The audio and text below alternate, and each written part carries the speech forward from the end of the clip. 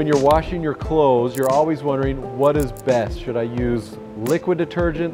Should I use powder or pods? So those are the things we're gonna cover today. Hey everybody, it's Tyler here at Boulevard Home. I am standing inside of our brand new appliance department, so come and check it out if you can. Today we're discussing the pros and cons of each one of these. Based on our research, this is what we found in terms of what are pros and cons of each type. Let's jump into the different types of detergent. We're gonna first start with powder. There's a couple pros of powder detergent. One, it is usually cheaper. Second, powder is also very good for mud or clay because of its high pH levels. Next, powder is also very eco-friendly. Many times you'll see powder in cardboard boxes which have been recycled. Two additional pros of powder detergent are first, you can use it to pre-treat your clothing if you have additional stains and soils that you need pre-treated. Also, depending on how you use the detergent, when you pour it or store it, it's not as messy or potentially as sticky or messy as maybe some of the other detergents are.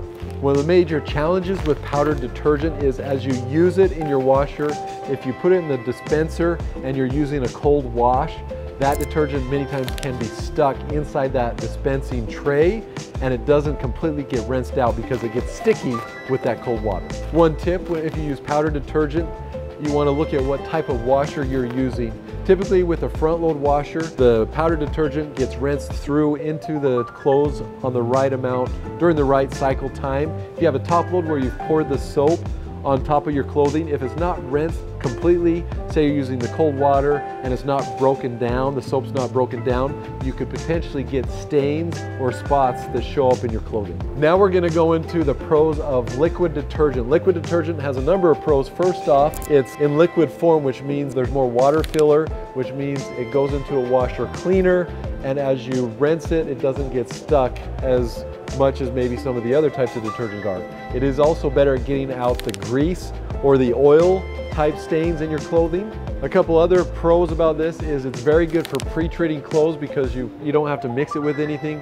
And finally, you can use liquid detergent to hand wash your clothes as well. To mention some of the cons about liquid detergent are first off, it's a lot messier. When you pour it into the washer, things can drip, it's sticky, it gets stuff all over, dirt sticks to it. Second, it is not as eco-friendly. They're always made out of plastic bottles, so it's not as easy to recycle. And last off, the final con we want to mention about liquid detergent is it's too easy to over or under uh, approximate the amount, the correct amount of detergent that you need. So one key tip for this is many of the washers now, such as this one, you go in here and they have some smart dispensing options. This allows you so you don't over or underestimate the amount of detergent you need to use. This one, you fill up 50 ounces of detergent and it dispenses how much it needs for that specific cycle. So that's one way to get past one of the cons of liquid detergent. Our third option is pods. So what, what are the pros of pods when you're using it to wash your clothes? First off, it's the simplest and lightest way to store your laundry detergent. Also, it's the least messy. They come pre-packaged, you throw them in, and they're less messy. So those are the pros. However, other than that, there's not many pros about the pods. Some of the cons are, is first off, these pods are, are, all one size. If you have a small load, many times you're gonna be using too much detergent, which is not great for your clothes. Like any of these options, if you're using too much detergent, there's many negatives that can happen to your clothes as well as the washer itself. Watch our previous video that we recorded here.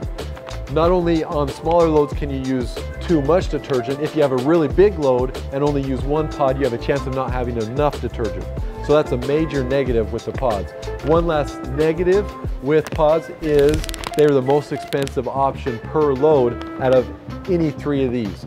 So there we go as we compare the three options of laundry detergent the liquid, the powder, and the pods. Hopefully you got some great information about what's gonna work best for you. You take this information and decide how is it best gonna help you in washing your clothes.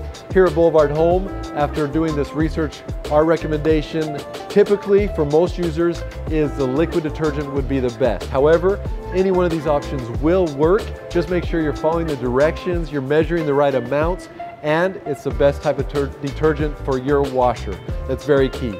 Thanks for watching. Subscribe to our channel below. Ring that bell if you want notifications. No, because look it. This only has 20, and this has 26 loads. This was how much? Okay, eight bucks and five, six bucks. So you're saying if you play baseball and get sand and mud and clay, this is better. But if you need grease and oil, this is better. And this is the best of both worlds. It's a waste of your money, but it's so convenient.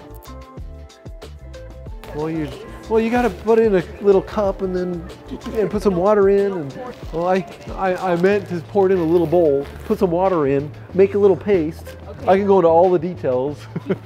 but what if I don't want to use hot water because I got brand new red clothing that I don't want to get all over According to people who are producing this video, I say soap too much.